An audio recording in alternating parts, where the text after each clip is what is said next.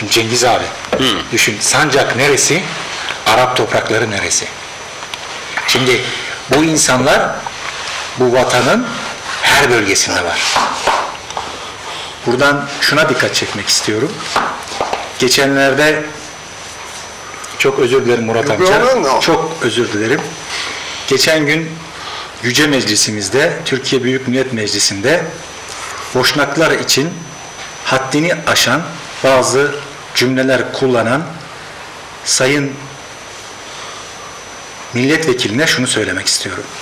Boşnakları lütfen iyi tanıyın. Ve Boşnakların tarihini bilmeden onların üzerine haddini aşan kelimeler yapmayın. Bakın ben bugün bir belge getirdim. Şu belgeyi göstermek istiyorum. Kaldır amca biraz ha. Net çeksin biraz, net yapsın. ha. Bu belge Net gözükmüyor ha, daha net, daha net, daha net ha. bu belge Orada boşnak eee Küçükköy, Ayvalık Küçükköy'de çekilmiş Kurtuluş Savaşı'na katılan Kuvayi Milliyeci Kuvayi Milliye. Kuva- Kuvayi Milliyeci Boşnak. Boşnakların resmidir. Kurtuluş Savaşı'na katıldı. Kurtuluş Savaşı'na katılanlar bunlar. Görüyoruz ki Arabistan'da bu memleket için savaşanlar da Boşnaklar. Türkiye Büyük Millet Meclisi'nde lütfen tarihi bilerek konuşalım. Sayın Vekile buradan şunu söylemek istiyorum.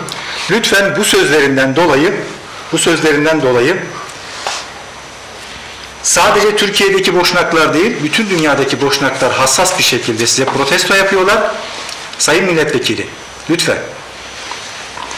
Boşnakların tarihini bilmeden, bu ülkede ne kadar çimentosu, demiri olduğunu bilmeden, bu ülkede pay sahibi değiller diye söz etmeniz çok yanlış.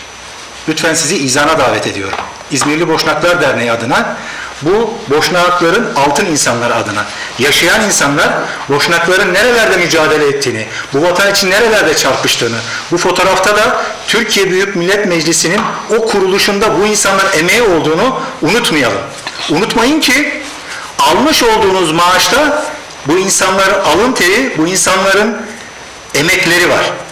Çok rica ediyorum lütfen Türkiye Büyük Millet Meclisi'ndeki konuşmalarınızda daha dikkatli olun. Bir milletin fertlerini, toplumsal eee, dokuyu zedelemeyelim. Teşekkür ederim. Özür dilerim bu konuda.